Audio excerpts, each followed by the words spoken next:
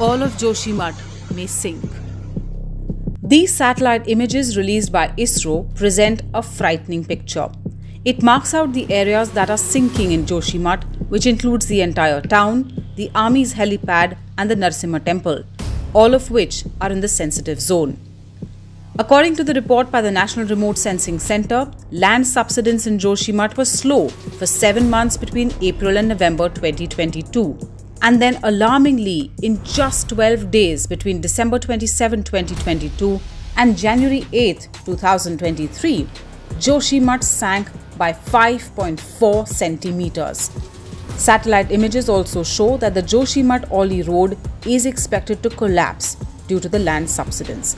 A TOI online report.